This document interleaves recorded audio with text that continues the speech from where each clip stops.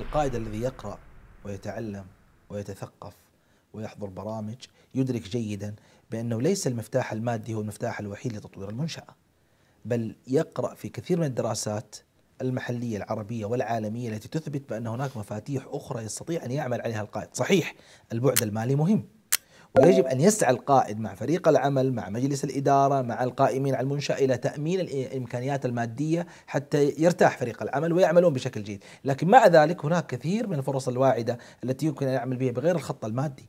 اليوم لما نتحدث على قضية الجوانب التحفيزية على سبيل المثال هناك دراسات كثيرة جدا تثبت بأن التحفيز المعنوي له مقدار ووزن في بعض الحالات يفوق التحفيز المادي. هذا بالنسبة لفريق العمل نعم. أحيانا إشعار فريق العمل الشفافية وإشعار فريق العمل بالمأزق الذي تمر به المنشأة وعدم تغيب المعلومة عنهم المأزق المالي المأزق النظامي أيا ما كان عدم تغيب المعلومة عنهم سيساعد بشكل كبير جدا على أن يتبنوا هم الموقف أيضا فهذا أيضا تأتي في قضية الشفافية والصراحة والوضوح مع مع فريق العمل.